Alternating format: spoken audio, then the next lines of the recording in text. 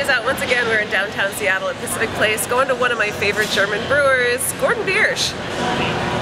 Penelope. Come on, let's go inside. You're so weird. Let's drink some beer. I'm with Eddie, who is the head brewer here at Gordon Biersch. I have to say, I have been here several times.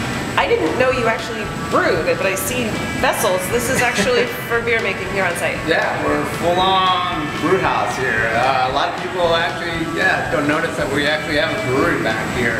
Um, they see the sign, but somehow they never make it up here to check us out. Yeah. But yeah, we got a 20 barrel brew house here. 20 barrels. Yeah. Some people may think of Gordon Biersch as you know your location. You've got more than one. That maybe you guys are some big conglomerate, um, but that's not necessarily the case, is it? No, uh, each uh, pub is a little bit different. We get to play around and make beers that we want and get, you know, play around. And that way uh, each brewery has like the brewer's personality that goes along with it, which makes it really nice. Awesome. And I heard you guys have won some awards as well. Yeah, yeah, yeah. In 2014, we won the Small Pub of the Year Award in Washington, and then we've taken uh, several medals out of the Great American Beer Festival throughout the years also. That's impressive. At least every other month we're doing a beer dinner here where our chef has a free range to uh, come up with a menu, do whatever he wants, and uh, we'll go ahead and we'll pair beers with it that I have on tap.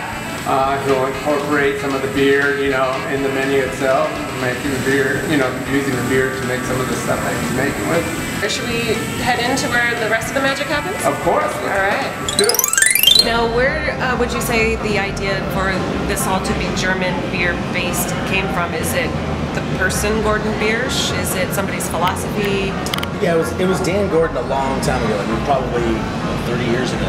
Um, and he he was a lager brewer. I mean, he went to, he, he trained in Germany, and um, this is where the basis from when they first opened the restaurant a long time ago.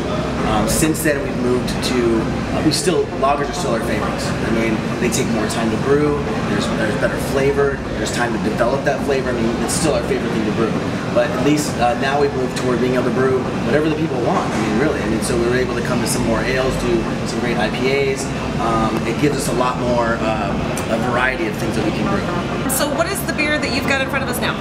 Right here, this is our Golden Export. This is one of the flagship beers that we always have on tap here. It's a just a nice, light, refreshing lager, um, lightly bitter, just enough bitterness just to kind of like balance out the malt flavor in there. Fancy glass must mean fancy beer. What's going on here? This here is a Belgian triple that I brewed here, another first for this location. Um, this beer here is basically mostly Pilsner malt, but I also use uh, Belgian candy sugar to increase the sugar level in there. That way I could get that higher alcohol content. This is also a new beer here for this location. This is an oatmeal stout. Uh, it's got that nice roasty, chocolatey flavor. Uh, I add uh, oats to it to give it that little bit of that smooth creaminess to it. You have to apologize for my friends in the beer posse here who can't stop talking about how great the beer is. You guys, blah, blah, blah, blah, blah, blah. For advertising opportunities, contact Mike Oh